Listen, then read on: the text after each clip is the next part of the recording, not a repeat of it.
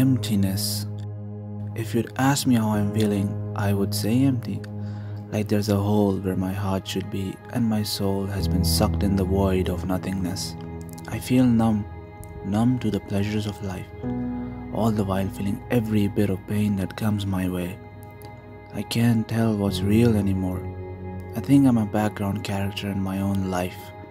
Everything keeps going on with me slipping in and out of consciousness.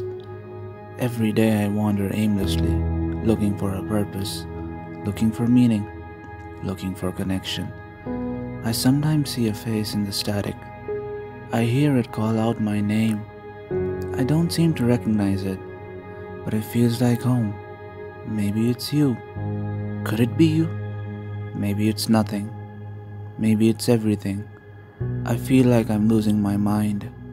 I've never felt so alone. The only thing that never leaves my side are my demons. I see them in the periphery of my eyes. I feel them in my disdain, dancing to the melody of my agony. I try to make sense of why I'm still here and allowed to walk among the living when I haven't felt alive in years. Loneliness. It's not the same as being alone. Solitude is a killer, and I'm its next victim. Does any of it matter? I used to say words that are devoid of meaning. Today I write to you in full, confidence. My heart pouring out all the words I have wanted to say for so long.